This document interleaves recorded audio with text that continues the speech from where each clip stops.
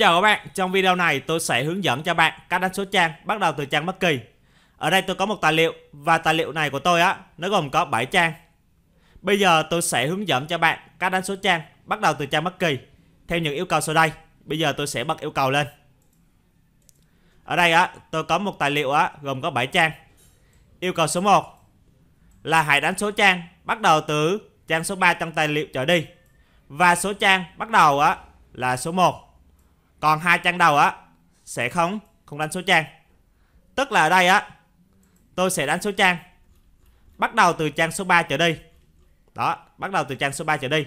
Và số trang tôi muốn bắt đầu á, là số 1 tiếp theo là 2 3 4 và 5 đó, tôi bắt đầu đánh số trang từ trang số 3 trong tài liệu trở đi. Và trang bắt đầu muốn đánh là 1 đó, còn hai trang đầu tôi sẽ không đánh nha. Rồi bây giờ chúng ta sẽ tiến hành là phân tích cách đánh như thế nào. Ở đây tôi đã phân tích rồi. Tôi giải thích cho các bạn hiểu này Để đánh số trang từ trang bất kỳ á là các bạn chúng ta phải ngắt tài liệu thành hai selection. Và trong đó trang 1, trang 2 trong tài liệu là selection 1. Còn trang 3, trang 4, trang 5, trang 6 và trang 7 trong tài liệu là selection 2. Khi các bạn chúng ta đã ngắt thành selection riêng biệt rồi á thì bạn thao tác với selection 2 nó sẽ không ảnh hưởng tới selection 1. Và lưu ý nha, nhớ ngắt liên kết giữa hai selection.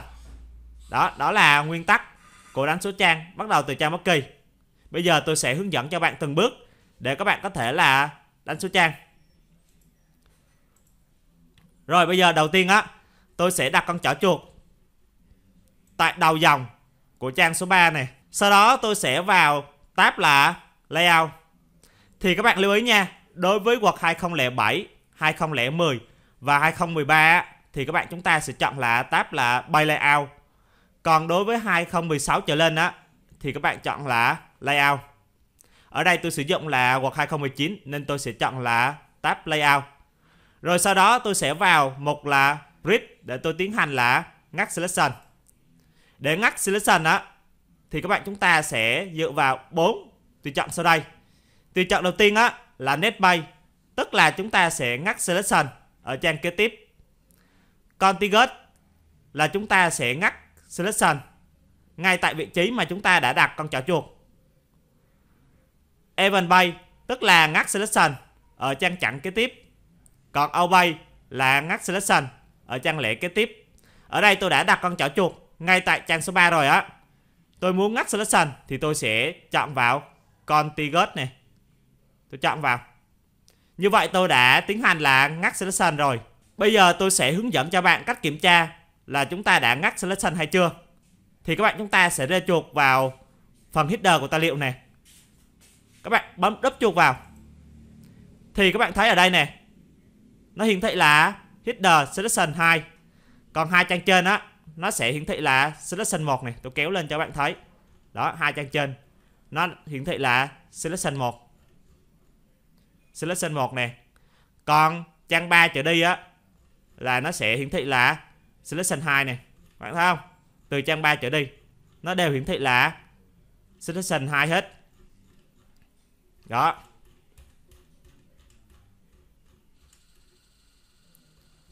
Rồi bây giờ tôi sẽ kéo lên đầu trang số 3 này. Như vậy là chúng ta đã ngắt selection thành công. Tiếp theo là chúng ta phải ngắt liên kết giữa hai selection. Ở đây tôi sẽ chọn vào tài liệu này. Tiếp theo tôi sẽ chọn vào link to private để tôi ngắt liên kết giữa hai selection. Đó, selection 1 và selection 2. Tôi sẽ ngắt liên kết giữa hai selection này. Tôi sẽ chọn vào link to private.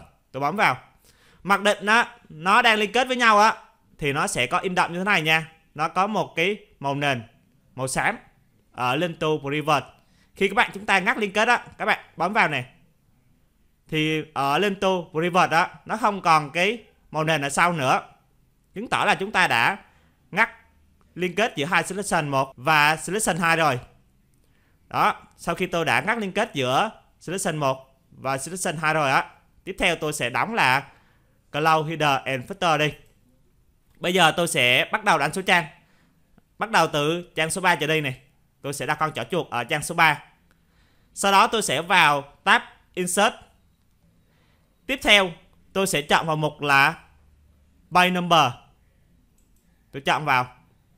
Bây giờ tôi sẽ định dạng lại số trang này. Tôi chọn lại Format By Number. Đó, ở đây tôi sẽ chọn là Number Format này. Định dạng là 123. Rồi trang bắt đầu tôi muốn đánh á, là trang số 1. Tôi sẽ chọn là set Up này. Đó, ở đây nó sẽ hiển thị số 1. Tôi chọn OK. Rồi tiếp theo tôi sẽ vào cái mục là Bay Number tiếp. Sau đó tôi sẽ đánh số trang.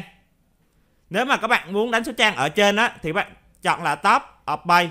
Còn muốn đánh số trang ở dưới á là bottom of bay. Còn muốn đánh số trang ở lề á thì các bạn chọn là bay markin Ở đây tôi muốn đánh số trang ở dưới nên tôi sẽ chọn là bất tầm ở bay này. Nó hiển thị ba vị trí này. Bên trái này, ở giữa và bên phải. Ở đây tôi sẽ chọn số trang ở giữa này. Tôi sẽ chọn vào kiểu số 2. Thì các bạn quan sát này. Ở đây. Từ selection 2 nha. Nó đã đánh số trang là một này. 2 3 4 5 Đó. Rồi ở đây á, Nó đã hiện là liên kết giữa hai selection rồi. Bạn thấy này, Giờ chúng ta tiếp tục ngắt đi. Lên to private này. Ngắt đi, các bạn, bấm vào. Để cho nó khỏi liên kết giữa hai selection. Rồi, bây giờ tôi đã ngắt được Liên kết giữa hai selection rồi. Tiếp theo tôi sẽ chọn là Cloud Header and Footer này. Bấm vào.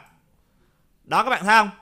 Từ trang số 3 trở đi á tôi đã đánh số trang từ 1 này 2 3 4 và 5 còn hai trang đầu tôi không muốn đánh á thì tôi kéo lên. Tôi sẽ tiến hành là xóa đi. Bấm đúp vào số trang này. Chọn vào. Bấm delete. Cloud, Header and Footer.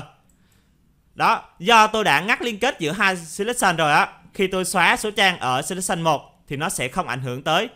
Selection 2 Các bạn kiểm tra này. Trang đầu tiên này, không được đánh số trang này. Trang số 2 cũng không được đánh số trang. Tuy nhiên trang số 3 này, Được đánh số trang bắt đầu từ trang số 1 này. Số 2 Số 3 Số 4 Đó, Số 5 Đó, Cách thức đơn giản như vậy thôi. Đó, các bạn cứ tách Thành hai selection. Những trang mà các bạn muốn đánh á các bạn ngắt thành selection 2 rồi các bạn chúng ta thao tác với selection 2 á, thì nó sẽ không ảnh hưởng tới selection 1.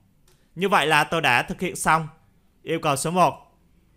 Tiếp theo, chúng ta sẽ thực hiện yêu cầu số 2 là đánh số la mã cho hai trang đầu tiên. Bây giờ tôi sẽ quay về với tài liệu. Rồi, hai trang đầu tiên này tôi kéo lên.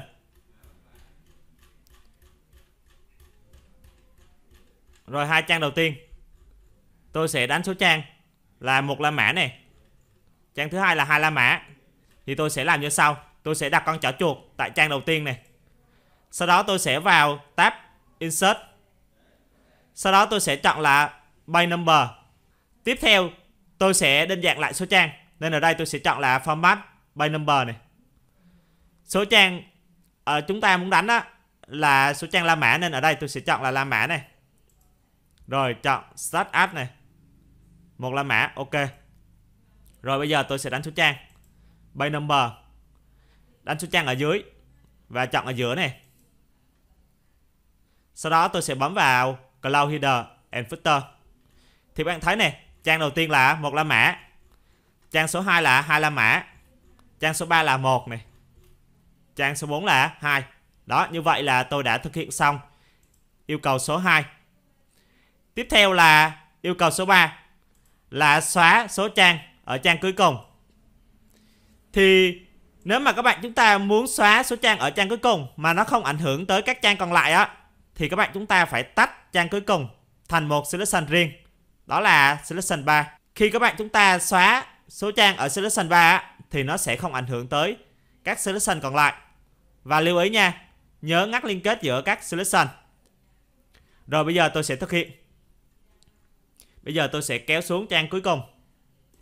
đó, tôi sẽ đặt con chảo chuột ở dòng đầu tiên của trang cuối cùng này. Sau đó tôi sẽ vào tab layout này. Tiếp theo, tôi sẽ chọn vào một grid để tôi tiến hành là ngắt selection. Ở đây tôi sẽ chọn là một là contiguous chọn vào. Rồi tiếp theo tôi sẽ kiểm tra là tôi đã ngắt selection thành công hay chưa.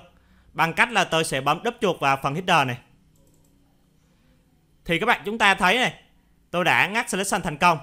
Trang cuối cùng đã thành selection 3 đó. Rồi, các trang ở trên đó là selection 2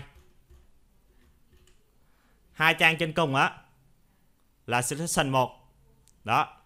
Như vậy là tôi đã ngắt selection thành công. Tiếp theo, tôi sẽ tiến hành là ngắt liên kết giữa các selection bằng cách là tôi sẽ bấm vào lên to private này. Tôi bấm vào để tôi ngắt liên kết giữa các selection với nhau. Rồi sau đó tôi sẽ chọn là cloud header and footer. Đó, như vậy là tôi đã ngắt liên kết giữa các selection rồi. Nếu mà các bạn chúng ta muốn kiểm tra lại này, các bạn chúng ta sẽ bấm vào đúp chuột vào header này. Đó, thấy dòng là lento revert nó không còn bôi đậm nữa. Chứng tỏ chúng ta đã ngắt liên kết thành công. Rồi, tắt cloud header and footer đi.